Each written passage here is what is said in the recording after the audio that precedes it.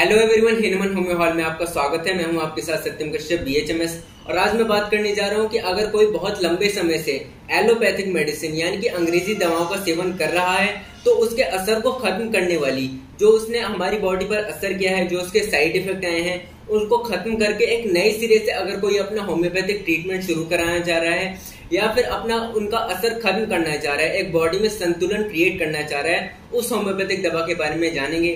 तो देर न करते इस वीडियो को शुरू करते हैं।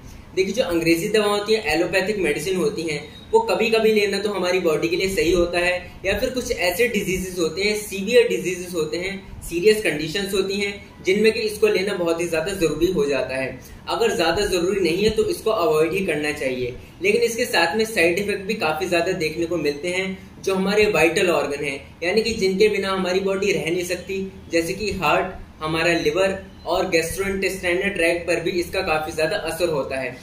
एलोपैथी मेडिसिन सिस्टम में ऐसी दवाएँ दी जाती हैं, जैसे कि अगर किसी को कॉन्स्टिपेशन हो रहा है, यानी कि कब्ज हो रहा है तो उसको ऐसी दवाई दी जाएगी जिससे कि उसकी जो इंटेस्टाइन है, आंत है, उसकी जो इंटेस्टाइन की पेरिस्टाल्टिक मूवमेंट होती है, उनको बढ़ा दिया जाता है, जिससे कि उसका स्टूल जो होता है, आसानी से पास हो जाता है।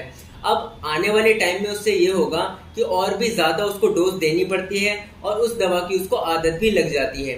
साथ ही साथ अगर किसी को डायरिया की समस्या बनी रहती है तो उसके इंटेस्टाइन में जाकर ऐसी मेडिसिन एक्ट, एक्ट करती हैं जिससे कि उसका स्टूल पूरा ड्राई अप हो जाता है और उसको कॉन्स्टिपेशन की समस्या भी देखने को मिल सकती है और बाद में उसको काफ़ी ज़्यादा और डायरिया की समस्या भी देखने को मिलती है। तो इस तरीके से काफ़ी ज़्यादा एडवर्स इफ़ेक्ट होते हैं एलोपैथिक मेडिसिन सिस्टम के, और मैं यहाँ पर कोई इस मेडिसिन सिस्टम की बुराई नहीं कर रहा हूँ। ज़रूरत के समय पर बहुत ही ज़्यादा अच्छे तरीके से इसका इस्तेमाल किया जाता है या फिर बहुत ही सीरियस कंडीशन है, तब जो है ये पेशेंट की जान बचाने के लिए बहुत ही ज़्यादा सक्षम है। अन्यथा अगर जिन लोगों को इसकी आदत लग गई है तो उसके एडवर्स इफ़ेक्ट उनकी बॉडी पर देखने को मिलते हैं, जिनको खत्म करने की ज़रूरत बहुत ही ज़्यादा ज़रूरी है। जब पेशेंट को एंटीबायोटिक दी जाती है तो 100 परसेंट में से जो पाँच परसेंट केसेस होते हैं, उसमें पेशेंट को एलर्जी देखने को ज़रूर मिलती है।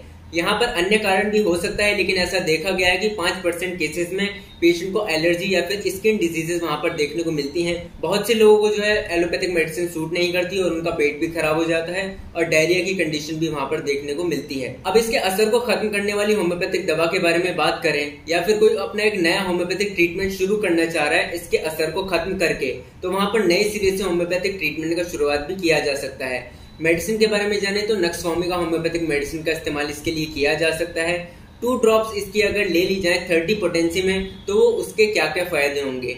एक तो पुरानी जो असर आ चुके हैं एलोपैथिक मेडिसिन सिस्टम के ड्रग्स के, उनको ये खत्म कर देगी। संतुलन प्रोवाइड कराएगी हमारी बॉडी में एक तरीके से सॉर्ट ऑफ़ इक्विलिब्रियम यानी पूरी बॉडी को संतुलित कर देगी। और ये फ़र्स्ट रेमेडी है फ़र्स्ट मेडिसिन है। अगर किसी ने बहुत ज़्यादा डोजिंग की हो, यानी कि बहुत ज़्यादा एलोपैथिक मेडिसिन का सेवन किया हो तो ये होम्योपैथी में पहली जो है फ़र्स्ट इंडिकेटेड रेमेडी है। वहाँ पर इसका चुनाव किया जाता है। थर्टी पोटेंसी में इसकी दो बूंद जो है सफिशियंट होती हैं। मैंने मेडिसिन का लिंक जो है डिस्क्रिप्शन में दे दिया है, वहाँ पर जाकर आप इसको परचेज कर सकते हैं। अन्य बहुत सी बीमारियों में भी इसका इस्तेमाल किया जाता है तो आगे भी आपकी ये काम में बहुत ही हेल्पफुल होगी। आप मुझसे ऑनलाइन कंसल्ट करना चाहते हैं तो मैंने अपनी ईमेल आईडी डिस्क्रिप्शन बॉक्स में दे दी है। वहाँ पर जाकर आप मुझसे कंसल्ट कर सकते हैं।